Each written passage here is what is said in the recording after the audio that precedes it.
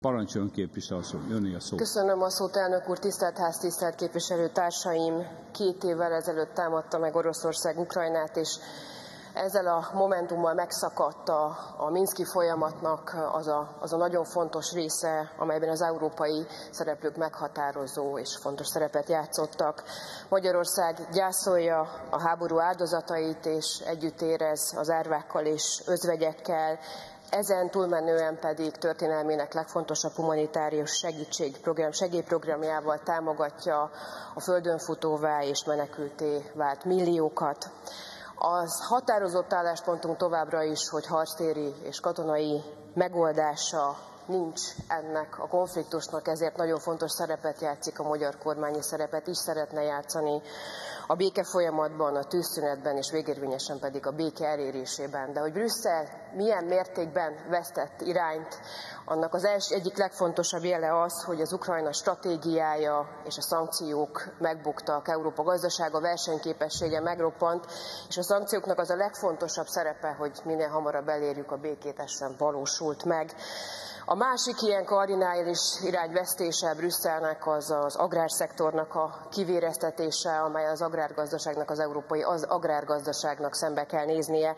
Erre nincsen Brüsszelnek európai megoldása, még akkor sem, hogyha a gazdák kétségbe esetten tüntettek Európa szerte.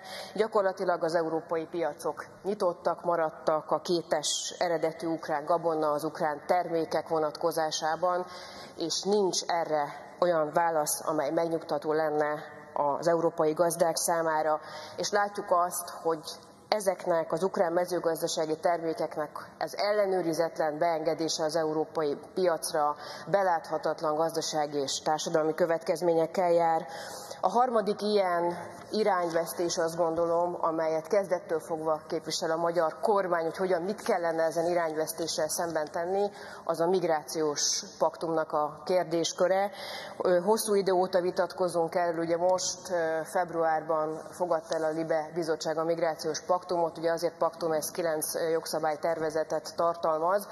Néha kiveszik, visszateszik, kiveszik, most megint benne van a, a, a kvóta gyakorlatilag, amely a migránsok kötelező szétosztására vonatkozik, és ebben a jogszabálytervezetben benne van az, hogy azok a tagállamok, amelyek ellenszegülnek, ebben az iránya a pénzbüntetésben részesülnek. Azt csak zárójelbe jegyzem meg, hogy ennek a pénzbüntetésnek mekkora az összege. Nyitva hagyja a kaput a paktum, ezt az Európai Bizottság szabad hatáskörben döntheti el.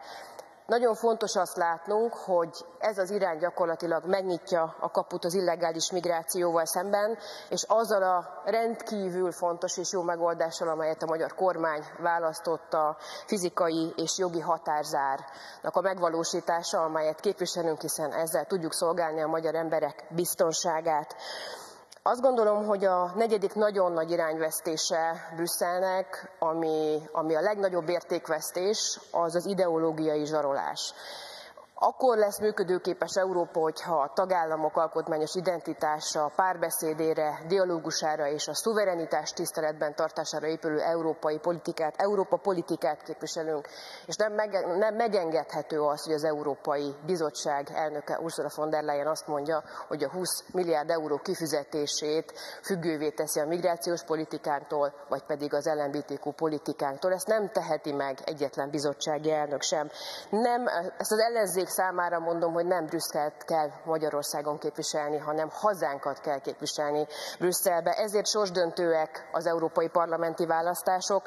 Olyan időszak elé nézünk, amely változást hozhat, a konzervatív keresztény értékrend megerősödését hozhatja. És engedjék meg nekem, mert második napja hallgatom az ellenzéktől azt, hogy a női közéleti szereplőket milyen mértékben degradálják. Szeretném Fekete Győr Andrásnak és a többi társának jelezni, hogy a női közéleti szereplők Magyarországon nem szoknyák. Aki a női közéleti szereplőket szoknyákká minősíti, az valamennyi női közéleti szereplőt ledegradálja. És én büszke vagyok az én politikai pártcsaládom és közösségem valamennyi női közéleti szereplőjére, okosak, tehetségesnek és a hazájukat szolgálják, és én azt gondolom, hogy aki az elkövetkezendő időszakban minket szok szoknyának tekint, az valamennyi női közéleti szereplőt magaráz a hazai közéletben. Köszönöm a megtisztelő figyelmüket.